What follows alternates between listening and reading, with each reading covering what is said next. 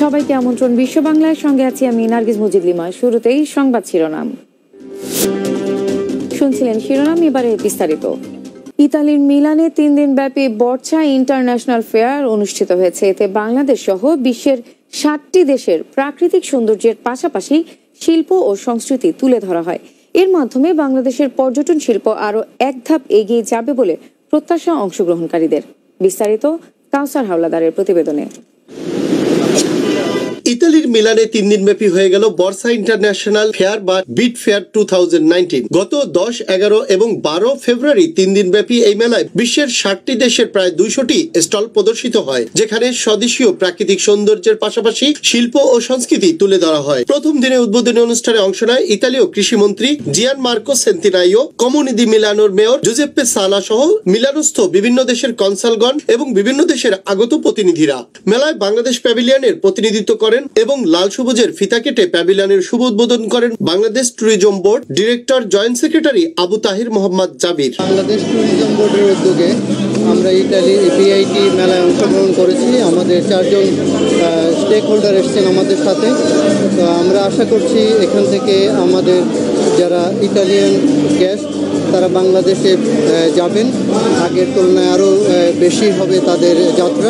মেলায় বাংলাদেশের ধারাবাহিক অংশগ্রহণে পর্যটকদের আগ্রহ বাড়ছে বলে বললেন মিলানস্থ কনসাল জেনারেল ইকবাল আহমেদ। এবারই সর্বাধিক সংখ্যক অপারেটর এসেছেন এবং যারা এসেছেন তারা বলেছেন তাদের আগের যে এক্সপিরিয়েন্স ওগুলি খুবই ভালো।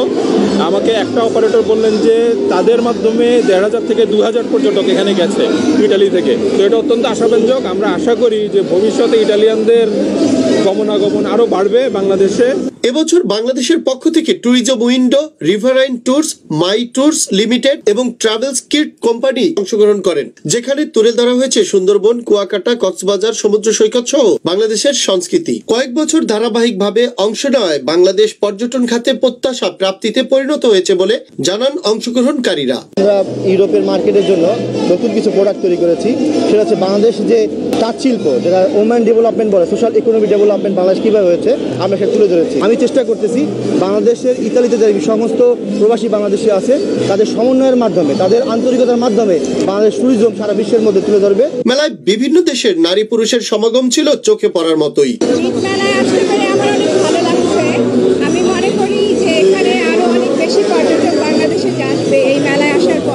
মেলার প্রথম দিনে অন্যান্যদের সাথে অংশ নেয় মিলান লম্বার্দিয়া আওয়ামী লীগ নেতৃবৃন্দ এবং মিলান বাংলা প্রেস ক্লাব ইটালির সাংবাদিক নেতৃবৃন্দ সহ প্রবাসী বাংলাদেশিরা।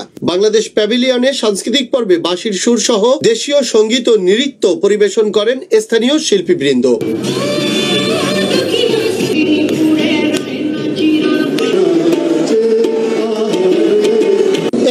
বিট মেলায় অংশগ্রহণের মধ্য দিয়ে বাংলাদেশ ট্যুরিজম বোর্ড এগিয়ে যাবে আরও এক ধাপ।